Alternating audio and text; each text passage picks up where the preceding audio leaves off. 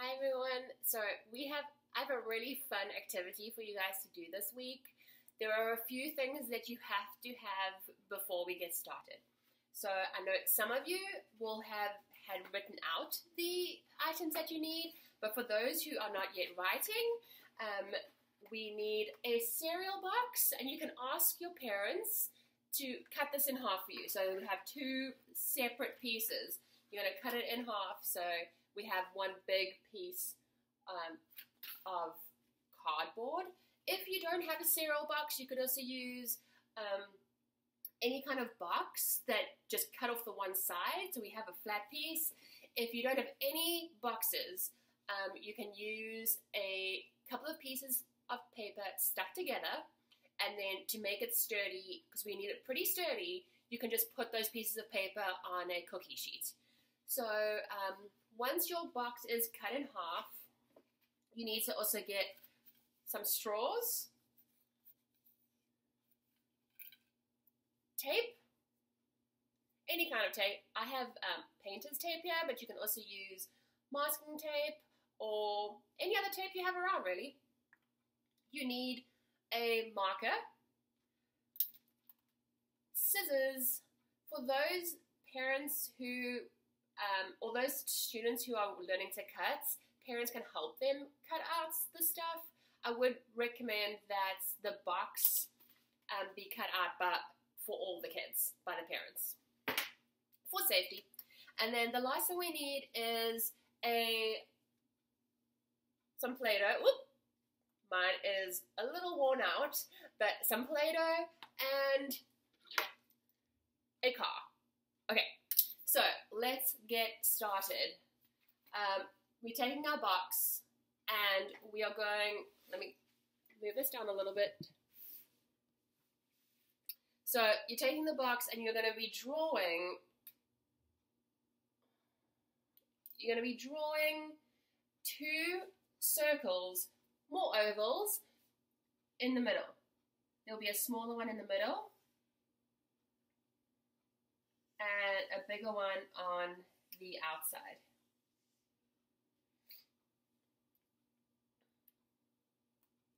Okay, then what you're going to be doing is making the racetrack.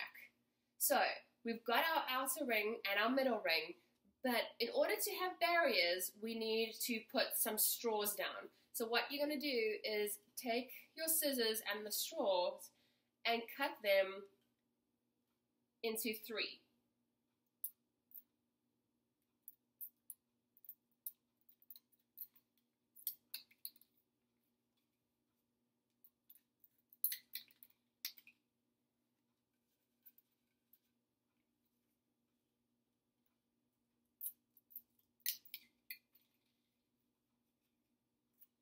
So it will make three fairly big size pieces for each straw.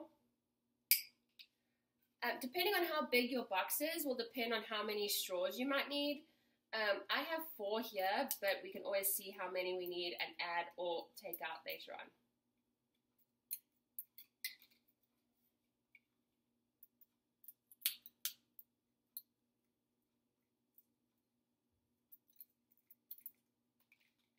Okay. You may need to cut out a few smaller pieces as well for the middle circle, just because um, it is a smaller space. So I have those smaller pieces already cut out, just to make this a little quicker. There we go. And what we're going to start doing is, and this is really good um, practice to rip, is um, getting the kids to rip the tape themselves. The best way to help kids to rip is to make a little, to start it for them. So that they then, you give it to them like this, and then they um, will rip it from there. And what you're going to be doing is sticking the pieces onto the box to make your racetrack.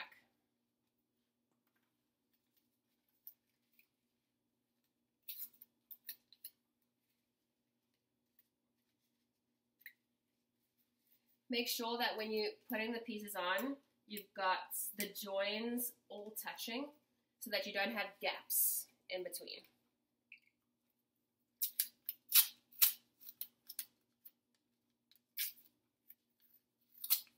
If they start getting tired, you can definitely rip some of the, tape, the tape for them. Um, this will also work on hand strength, the ripping, and trying to get it apart. And then putting the, the, the straws onto the, the track and onto the lines works on um, precision and control.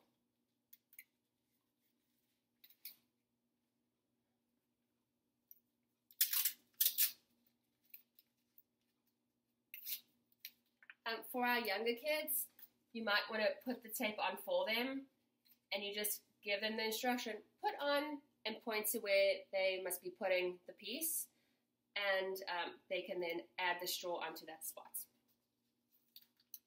Most of them are really, really good at, at tasks where you indicating where they need to put on an item. So you just put the tape on like that, you give it to them and you say, put on, and you point, and then they would take it and stick it on.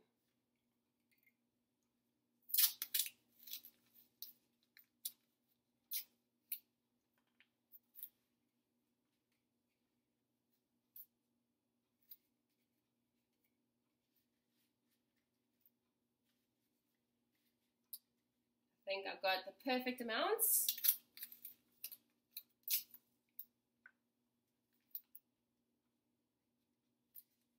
The outside and now I'll start putting on the pieces for the inside.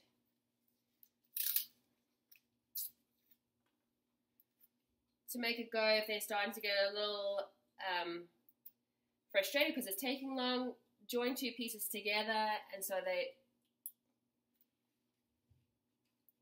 they can then stick them like that.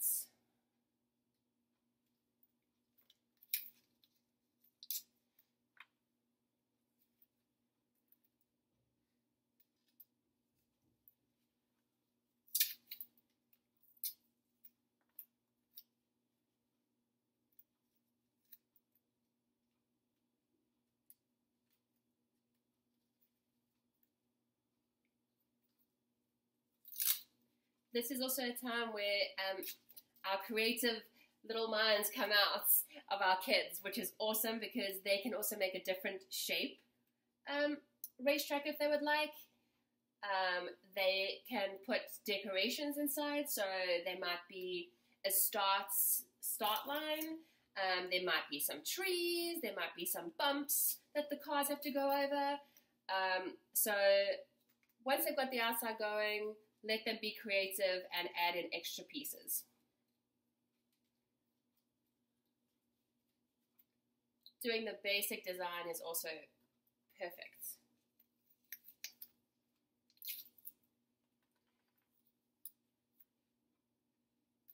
Okay, so I've got my racetrack. It is oval at this point. Um, we could have made it um, a kind of a zigzag or um, kind of wavy if you wanted to, but I'm going to just keep it um, straight for now.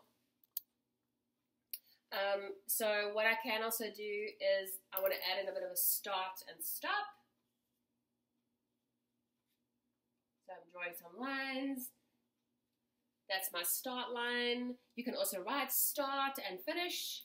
And for our younger kids, you can just grab a um, car and they can drive their car in down the racetrack. Obviously, make sure that you've made the car either small enough or the racetrack big enough to fit the car. And this is working on manipulation, and it's just really fun to drive around the racetrack. The other option is grab a piece of Play-Doh, roll it into a ball. They can either use both their hands to roll it, or if they really can, do that, that in the middle of their fingers with one hand. Put it onto the track, pick it up. This is why you would maybe need a, a tray, and they've got to roll it around all the way around the racetrack. And see how many times they can get around in 30 seconds or a minute, or even just trying to get it around the maze of um, of tape and straws would be fun and, and really hard work for, for some of it, some of it, you guys. So that is my maze and my um, cars and Play-Doh. I hope you guys enjoyed it. Um, send some pictures. Let me see what you guys have made. And I hope you guys are all going to be really creative and show me your best racetracks and mazes. Have fun, guys.